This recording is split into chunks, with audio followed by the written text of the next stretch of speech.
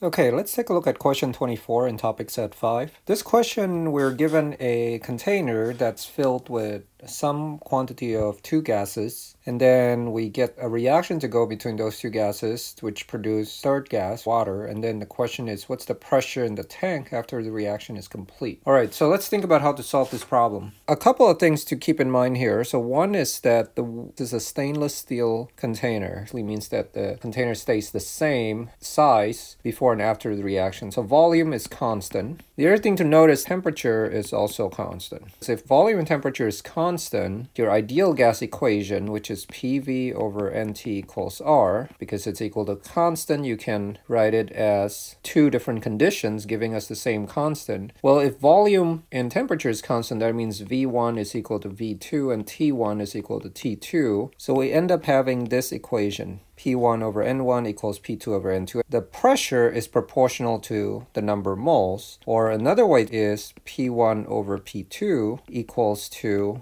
N1 over N2. What this is telling you is that the mole ratio, which remember is the ratio you get from your stoichiometric coefficient, can be expressed as the pressure ratio, which is the same as the stoichiometric coefficient ratio. Your stoichiometric coefficient now corresponds to number of moles, but they also correspond to pressures. So let's write out the reaction. Hydrogen gas, oxygen gas, and water produced. We balance this reaction out, we get that. So you can say that 2 moles of H2 reacts with 1 mole of oxygen, producing 2 moles of H2O. Or you can also say 2 atmosphere of H2 reacts with 1 atm of O2 to produce 2 atm of H2O. Now the question is, what's the pressure in the tank after the reaction is complete? Well, the pressure would be pressure of our product gas, there should also be pressure of the leftover excess reactant gas.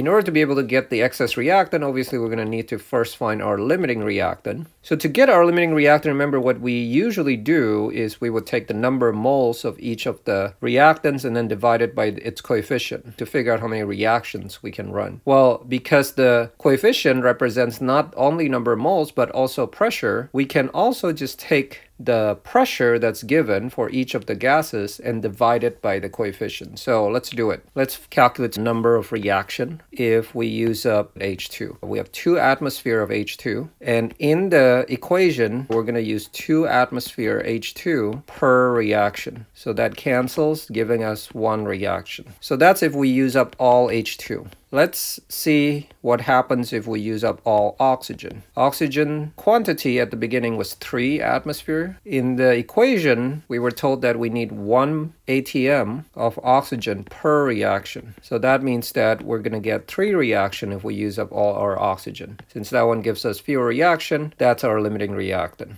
okay, is H2. Then we can figure out how much product we have, and then second to figure out the quantity of excess reactant left over. To get the pressure of H2O, what I need to do is just take my limiting reactant, which is 2 atm of H2, and then multiply that by the stoichiometric ratio, but remember stoichiometric ratio gives us ratio of pressures, in this case, since volume and temperature are constant. The ratio is 2 to 2, right? And that cancels up with this, so we end up getting 2 atmosphere H2O. That's the product.